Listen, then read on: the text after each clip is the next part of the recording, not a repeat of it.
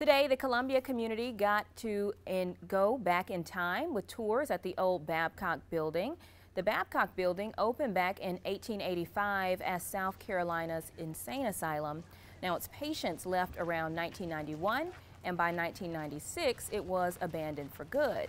Historic Columbia's research director shares with us the importance of remembering the building.